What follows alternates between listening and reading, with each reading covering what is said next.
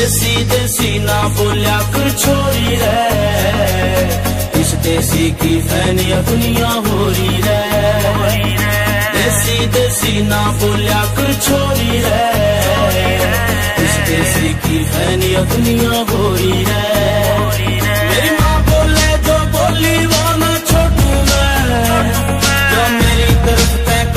Madam sorry रे।